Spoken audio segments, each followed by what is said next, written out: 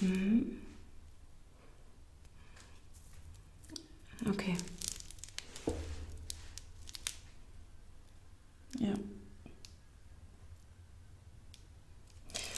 Ähm, schon farblich, ja? Mhm.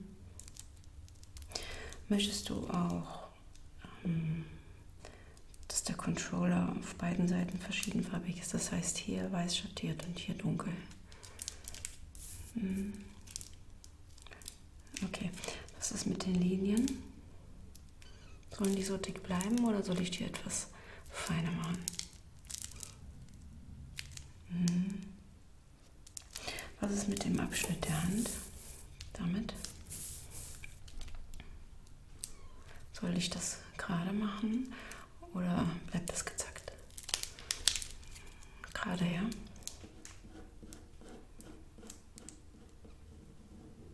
Okay. Die dicken Linien bleiben, ja? Hm, okay.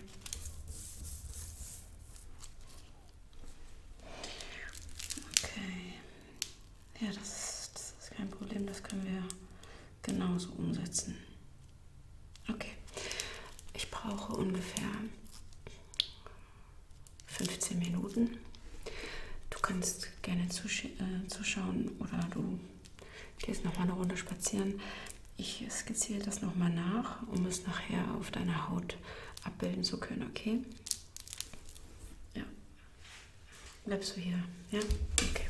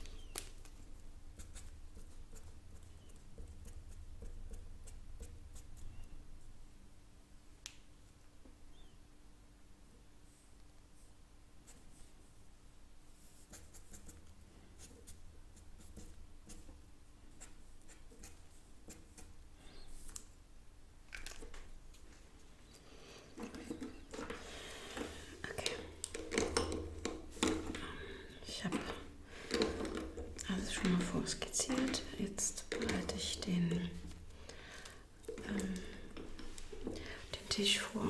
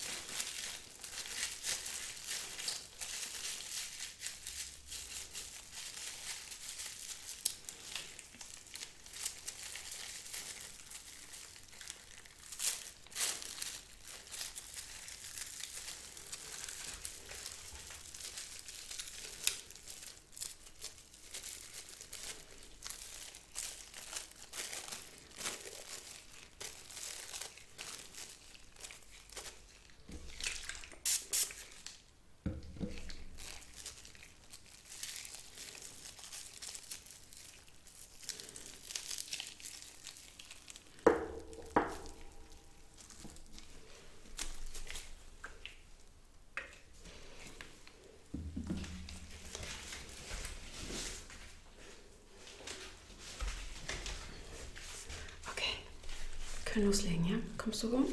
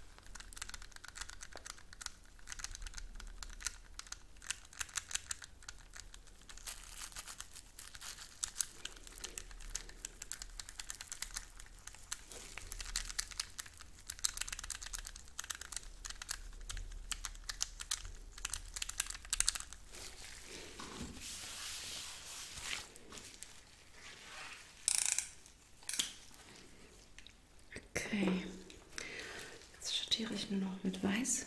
Okay, und dann